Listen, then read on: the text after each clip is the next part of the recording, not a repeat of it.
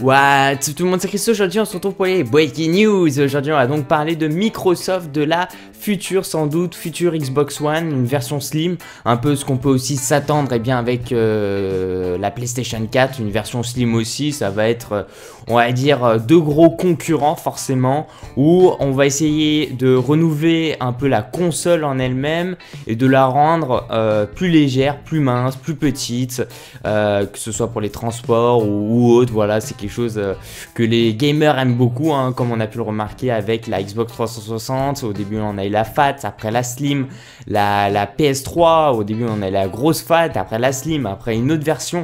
Enfin, c'est vrai qu'il y a eu pas mal de petites versions dans tout ça. Et donc aujourd'hui, on va parler de ça. Juste avant, euh, je tenais à vous souhaiter quand même un joyeux bon petit réveillon, euh, puisqu'on est le 31 décembre 2015. ce qu'il faut savoir aussi, petite parenthèse, c'est que vous savez, je vous ai fait un petit concours la semaine dernière, donc sachez que ça c'est en préparation. C'est juste que c'est un peu galère parce que si vous voulez, euh, là il va y avoir des jours fériés euh, au niveau de la poste et tout. En fait, j'ai remarqué que c'est assez galère. Donc je vais essayer vraiment de vous l'envoyer le plus tôt possible, euh, sachant que je suis en train de préparer au niveau des gagnants. Donc voilà, sachant qu'il n'y a pas eu beaucoup de personnes qui ont participé, je suis super content parce que ça veut dire que ce sont des personnes qui, qui vont gagner en fait, qui, voilà, qui me suivent réellement. Et ça, j'en suis très fier en tout cas lorsque je vais annoncer. Je ne sais pas comment, je pense pas que ça sera sur YouTube. Je pense que ça sera vraiment par contre sur Facebook, je sais pas. Euh, est-ce que vraiment faire une vidéo sur ça et tout, ça vaut vraiment le coup? Ou alors carrément de, montrer bien sur Facebook, puis les gens ils peuvent vérifier par eux-mêmes que ce sont des personnes qui me suivent depuis très longtemps parce que c'est facile de le voir en plus de ça. Donc ça c'est cool, comme ça ça peut vous montrer aussi que je ne triche pas, il n'y a pas de tricherie là-dedans. Donc on va parler aujourd'hui de la Xbox One puisqu'il y a eu euh, il y a moins de 24 heures euh, des petites informations, enfin en tout cas sur beaucoup de sites ça en parle, d'une Xbox One beaucoup plus légère. L'année dernière on a eu, enfin non cette année-là on a eu aussi euh, un site chinois qui parlait euh, d'une Xbox One Slim euh, qui devrait être annoncée normalement au mois d'octobre 2015, ce qui n'a pas été le cas. Voilà. et donc ici, forcément, on retombe sur des rumeurs en disant qu'il y aura une annonce d'une Xbox One, pas sur l'octobre 2016, mais en tout cas pour l'année prochaine. Et ça, moi, je pense que ça sera tout à fait possible. D'ailleurs, je pense que même, sans doute, Microsoft, en tout cas la, la, Xbox, vont mettre les pas en avant comparé à peut-être Sony, PlayStation, parce que ça souvent, j'ai remarqué, était un peu l'inverse, où Sony a souvent proposé et tout. Et là, je pense, je le vois bien en tout cas, euh, Microsoft sortir une nouvelle version, donc plus slim, plus légère. Donc je vais juste vous lire rapidement euh, la petite information. Donc Microsoft vise en fait gros pour l'année 2016 avec des jeux annoncés. Donc il y a pas mal de jeux qui vont être annoncés, Gears of War, 4 euh, par exemple. il y a aussi Quantum Break.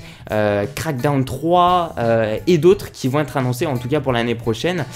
donc une année qui n'a pas fini de réserver donc des surprises puisqu'il murmure qu'en fait que Microsoft travaillerait actuellement sur une Xbox One plus légère. Attention, c'est là où les informations viennent euh, en fait d'un blogueur Brad Sams qui croit savoir que cette Xbox One mini euh, n'aurait euh, pas en fait la PlayStation 4 comme concurrent. J'ai entendu donc, donc il a cité j'ai entendu de sources internes que Microsoft envisagerait une Xbox One plus légère qui pourrait faire tourner les jeux Windows Store et qui entrerait en fait en compétition avec l'Apple TV. Donc finalement agrandir euh, eh bien, euh, on va dire son, son, petit territoire Microsoft et même euh, avoir d'autres rivalités, d'autres concurrents. attention ici, l'Apple TV, donc il a écrit dessus.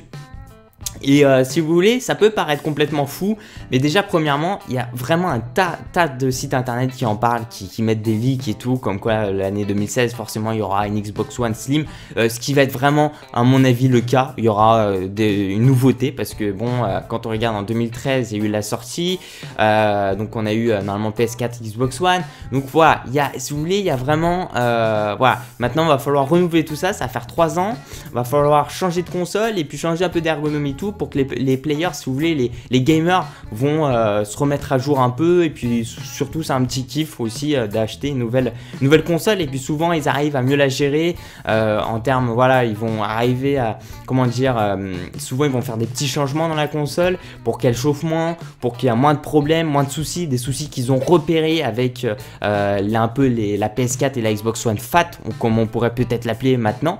et donc, ils vont essayer d'améliorer tout ça pour rendre certainement du côté de Sony, bah, une meilleure PlayStation portable, enfin portable, en tout cas slim, vraiment euh, plus petite sans doute, plus légère et tout, parce que comme je vous l'ai dit, les gamers, enfin même tout le monde recherche la miniaturisation de toute façon maintenant.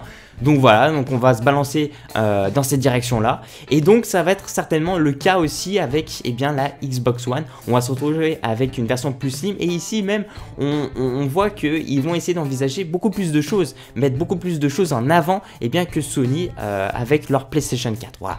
Après, voilà, c'est de la concurrence et tout, mais quoi qu'il en soit, ça reste des jeux, enfin des consoles de nouvelle génération, euh, voilà, de, consoles, de jeux vidéo. Donc euh, vraiment se taper la tête en disant la PS4 est mieux que la Xbox One ou la Xbox One est mieux que la PS4, ça reste un avis personnel. Et voilà, je pense qu'il faut pas aussi se taper la tête dessus. Voilà, ça sert pas à grand chose. Ce que je trouve moi personnellement dommage, c'est d'avoir des exclusivités sur un jeu, enfin sur une console et pas sur l'autre. Ça veut dire que forcément toi t'adores un jeu et t'adores l'autre, mais que les deux ils sont pas sur la même console. Donc là, c'est vrai que t'as un peu mal parce que forcément, il va falloir faire un choix. Tu vas pas t'acheter deux consoles, il y en a qui le font. Mais je trouve ça dommage, je trouve ça un peu con con, mais voilà, le fait, euh, voilà, je trouve que c'est même con d'ailleurs de, créer des exclusivités, c'est juste histoire de vendre sur la console. Voilà, merci surtout les gens, merci de mettre un petit j'aime à la 2 ça fait super plaisir, donc sur ma page Facebook personnelle aussi, puis euh, je vous dis, eh bien, très bientôt, voilà, pour de nouvelles informations certainement sur la nouvelle génération de consoles. Peace out